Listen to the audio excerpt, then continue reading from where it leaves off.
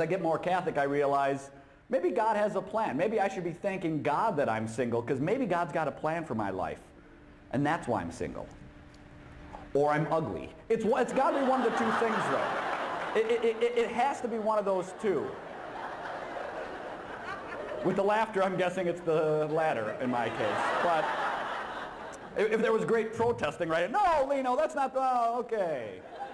Yeah, maybe you got a point.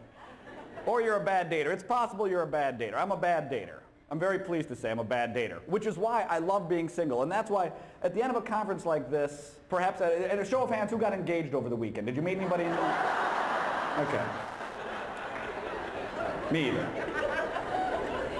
So if that's the case, we're going to be leaving being single today. So if you're going to leave and you're going to still be single after today, you either can thank God you're single and you can say, all right, God, what is your plan for me? You, God has a plan for all of us.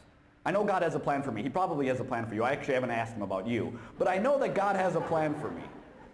And so if God has a plan for us, we have the choice to be thankful for whatever it is God's got in store for us. We have no idea what it is. Whatever God's got in, store for us, we can be grateful for this day and look forward to how we're going to go out and live our Catholic faith and be excited about what God's got in store, or we can whine and complain and not understand, and why doesn't God understand what I want? So thank God I'm single. Now, first of all, I'm Catholic. I'm a guy. I'm 36 years old. I'm starting to get gray. And so every person's going to ask the same question. Why aren't you a priest? Why don't you just become a priest? yeah, I didn't think about that. Oh, yeah. so Oh, okay. I'm 100% Italian. I actually look good in black, so there is an advantage to doing that. But the disadvantage, of course, is uh, once you become the priest, doesn't matter that you look good in black because now you can't do anything about it anyway. So that's out of the, that's, that's off the table. But I, I think every, every guy, every Catholic guy, if you take your faith mildly seriously, you really have to ask the question about vocation. And I realize some people here have already asked that question and already have it answered. And some guys maybe are still wondering.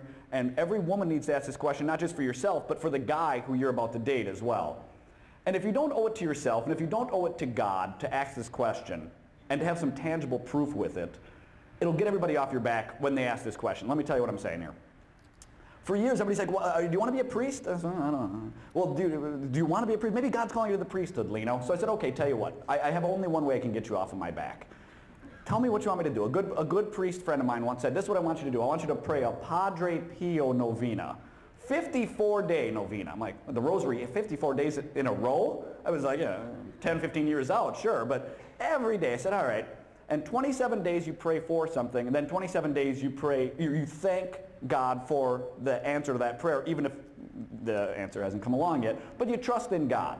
And you say, all right, God, I'm going to trust in you. This is going to work out. So I did this. And I prayed a 54-day novena almost every day. I missed every, it wasn't perfect. It was like a 57-day novena. I missed a couple days. God understands. There was a whole problem. New Year's Eve was over. There, was, there, was, there were some issues that I didn't work it out perfectly, all right? I think God understands. He created space and time. He can give me a little space and a little time a couple days.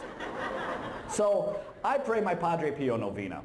And at the end of it, I said, God, if you want to be a priest, and, and one big thing here, no lip service. Not, God, I want to marry this girl, I want to have kids, I want to do this and this and this, but I'll be a priest if you really want. Not like that. But really, look, I'm open to it. You want me to be a priest? I'm happy to be a priest. God, just tell me what you want me to do.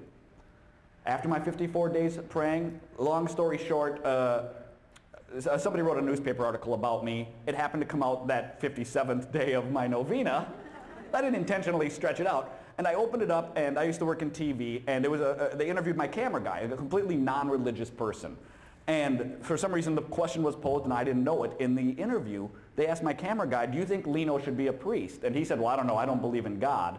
But I don't think Lino's probably called to the priesthood. I think he's, he's doing what he's supposed to do for the church the way he is as a single guy.